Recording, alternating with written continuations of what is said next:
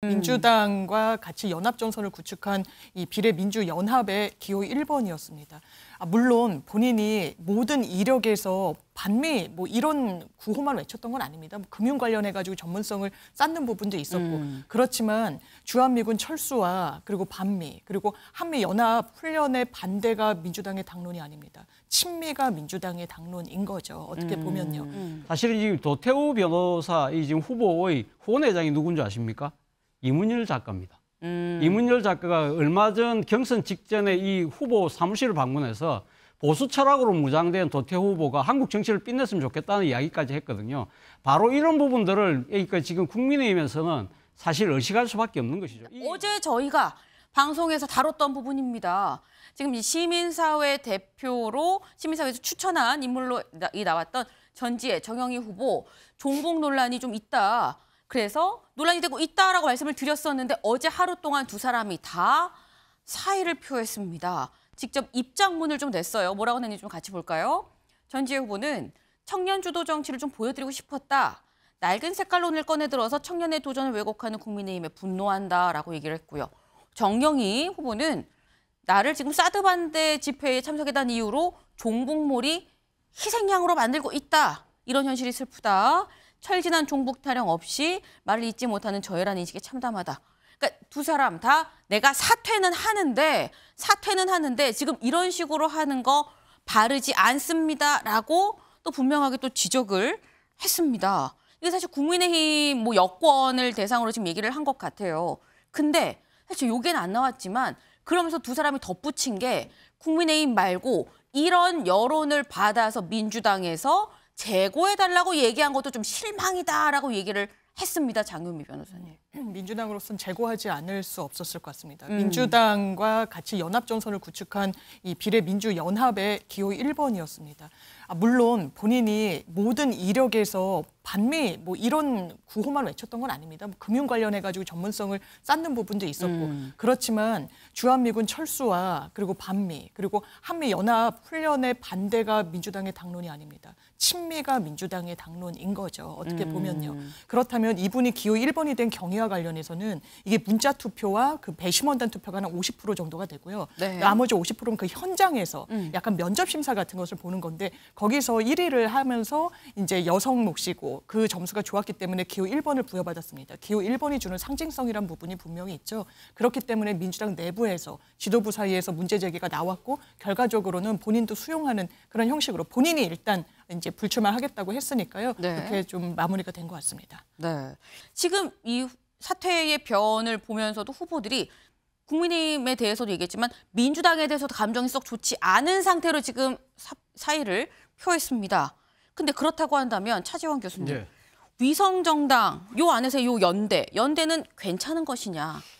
글쎄요. 그러니까 지금 시민사회 측에서 민주당의 요구를 지금 사실상 거부를 한 상태에서 지금 그러니까 1, 2로 어, 뽑힌 여성 후보들이 자진 사퇴를 했기 때문에 일종의 네. 뭐랄까 타협 안이 만들어진 것처럼 보이는데 음. 문제는 시민사회 측에서 그러면 대타를 누굴 낼 것이냐의 부분이거든요. 음. 그런데 지금 뭐 보면 앞서 뭐 잠깐 말씀하셨지만 지금 시민사회에서 후보를 선출하는 방식에서 가장 중요한 배점을 많이 갖고 있는 부분이 심사위원단 36명이 한 50점이에요. 네. 100점 만점 중에. 네. 그런데 그분들은 전혀 그러니까 심사위원단 구성이 변화는 없어요. 음. 그리고 또 민주당의 이번에 지금 요구에 대해서 강하게 반발하고 있거든요. 소위 말하는 보수 언론의 일종의 종북 프레임에 말려서 민주당이 거기에 놀아난 것처럼 그렇게 저기 주장을 하고 있기 때문에 과연 그럼 새로운 대타를 뽑을 때 있어서 과연 가면 민주당이 요구하고 있는 서민과 약자를 대, 진짜 대, 그러니까 대변할 수 있는 그런 적합한 인물을 선택을 할 것이냐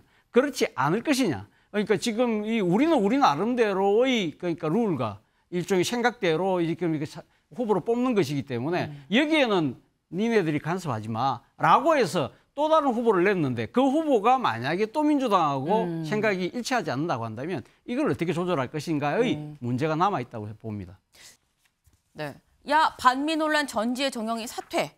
제가 지금 방금 얘기를 했죠. 요것도 있었습니다. 여는 5.18 폄훼 도태우 공천 유지. 네. 사실 같이 논란이 됐었던 게 야당에서는 지금 비례 후보였었고요. 여당에서는 5.18 폄훼 논란이 있었던 도태우 후보였었습니다. 여기에 대해서 공천을 유지하기로 했다라는 거예요. 어제 밤 9시까지 이 국민의힘 공관위가 어제 저녁에 열렸습니다. 끝나고 정영학 공관위원장 나와서 뭐라고 했느냐? 어, 회의가 길었습니다. 그랬더니 이견이 많았다라고 얘기를 했습니다. 시기도 영향을 미쳤냐? 5년 전 얘기다. 그리고 시간도 많이 지났고 공천을 유지하기로 했는데 거기에 대해 기자들이 물어보고 있는 거죠. 국민 눈높이를 말하, 말하셨는데요. 했더니 국민 눈높이 맞는 거 아닙니까? 라고도 정영환 위원장 얘기를 했습니다. 네. 근데 여기서 지금 진정성을 인정받았다라는 얘기가 나와요. 진정성. 사실 어제 공관위 회의가 요 있는 와중에 뭐가 있었느냐. 도태우 후보가 SNS에 사과문을 하나 올렸습니다. 이 내용이에요. 과거의 미숙한 생각과 표현을 깊이 반성합니다. 앞으로 5.18 민주화 운동의 자유민주주의 수호 정신 깊이 새기겠습니다. 그리고 5.18 민주화 운동 헌법 전문수록 당 입장 존중하겠습니다. 라고 얘기를 했습니다. 사실 앞서서 나왔던 사과문에는 아 이거 제가 죄송합니다. 근데 사실 이런 면이 있어요라고 뒤에 좀 붙었는데 그런 거 없이 지금 반성합니다. 당 입장 존중합니다. 깊이 가슴에 새기겠습니다라고 지금 얘기를 했습니다. 더불어서 요 본인의 사과문 두 번째 재차 사과문 전에 이런 글도 퍼왔습니다. 네, 뭘 퍼왔느냐? 심평 변호사의 글이에요. 제목이 도태우를 위한 변명입니다. 사람은 누구나 돌이켜 보면 언행으로 부끄럽지 않은 사람이 없다. 대구 지역에서 모처럼 나온 젊은 정치인 이제부터 좀 일할 수 있는 기회를 주면 좋겠다라는 취지의 글을 올렸습니다. 최수영 의원님. 네. 이런 글들을 보고 진정성이 있다고 국민의힘이 판단을 한 것이냐. 첫 번째가 그런 것 같아요. 그러니까 경선을 통과한 거잖아요. 네. 말하자면 제도를 통과해서 결국 공천을 받은 사람인데 음. 그걸 어- 어떻게 되돌리는 게 적합하냐. 또 두 번째가 한동훈 위원장도 얘기했어요. 태도에 대한 진정성과 미래에 대한 자기 반성이 중요하다는 취지로 얘기했어요. 그걸 충족을 시켜줬잖아요. 음. 네. 그래서 아마 경론 끝에 아마 만장일치로 해줬던 것 같아요. 근데 여러 가지 TK에, TK에 대한 정서, 그 다음에 음. 혹은 뭐 이런 것들도 좀 정치적으로 고려되지 않나 싶은데 저는 뭐 국민의힘이 논란 끝에 이런 점들을 수용한 거는 이제부터는 선거 체제로 들어가니까 음. 보다 더 이제 그 TK 쪽에 집중해 보겠다. 뭐 이런 뜻도 좀 담겨 있다고 생각이 됩니다. 음, 다음 기사를 좀 볼까요?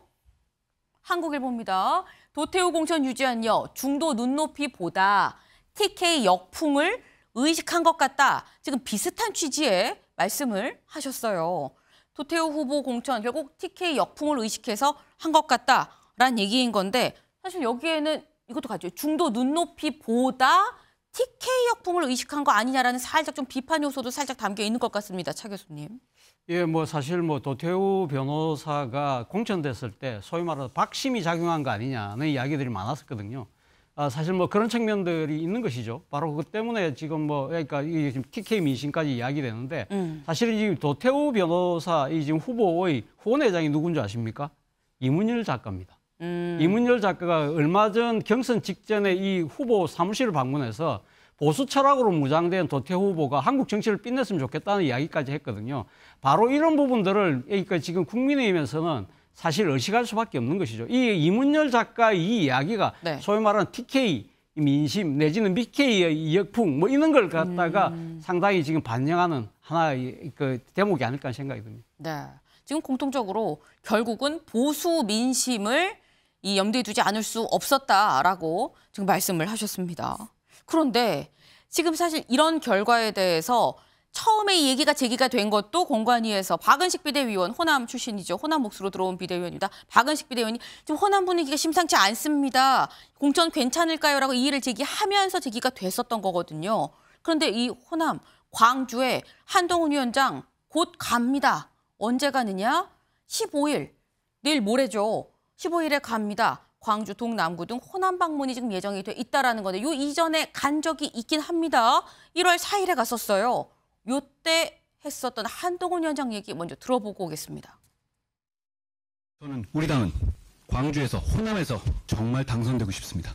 그렇게만 된다면 우리 당의 승리이기 앞서서 이 나라 정치에 값을 매길 수 없을 정도의 대단한 승리가 될 것이기 때문입니다. 우리 당의 호남에 대한 마음은 진심입니다. 하기 싫은 숙제 하는 마음으로 여기 온 게 전혀 아닙니다.